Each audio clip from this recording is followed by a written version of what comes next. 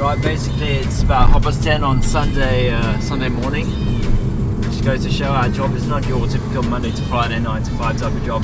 We've received a, a panic call from a young lady. She says there's a possible brown house snake or a red-lipped herald or something. She seems rather panic stricken. We don't want her to harm the snake. So we've got to get there as fast as we possibly can to try and sort the situation out.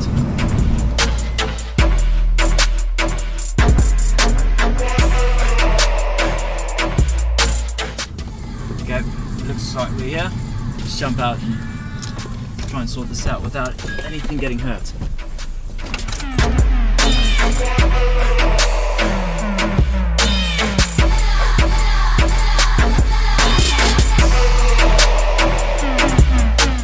So we just had a word with the owner. She says that her dog was barking in the front. She went to have a look at it, and there seems to be a rather large brown snake there. So we're gonna go have a look, see what it is, see if we can get it out of here peacefully.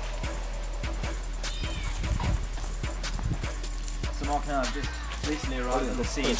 Basically what you can see we have here is an ideal resting ground for a snake. We've got warm conditions, it's nice and moist, there's nice shaded areas, lots of rocks and crevices where snakes would typically be hiding. So we like to do Got to be very careful walk around. We don't know yet what we're dealing with. It could be harmless, it could be fatal.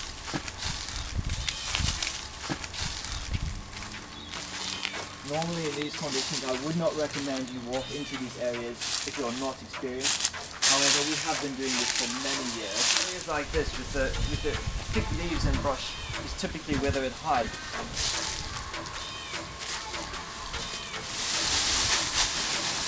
Okay, okay. It's not what we thought. It's a Snyder slider. Basically, these often get confused with red-lipped heralds, and people think they can take care of these situations by themselves. However, it's a completely different world. What we're dealing with here is a highly venomous snake that is extremely stupid.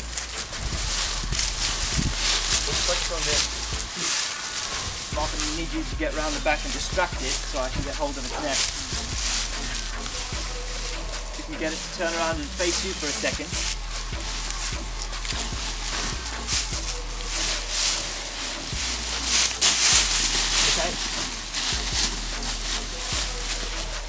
Right.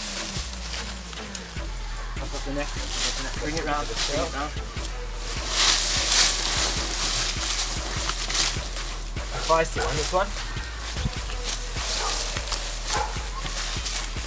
You're gonna need to get the bag. Right. Okay. Trying to get away. Basically, why I said this snake is a rather stupid specimen is they tend to be extremely vicious. Mark, get the eyes, get the eyes. So once their eyes are covered and their line of sight is blocked, they're relatively uh, defenseless and they just lie still. So from here, easy game, get up to the van, take it back to the wilderness, set it free.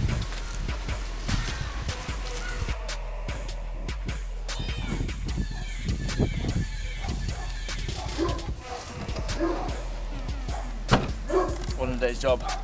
It's how you make a living, conserve nature, all at the same time.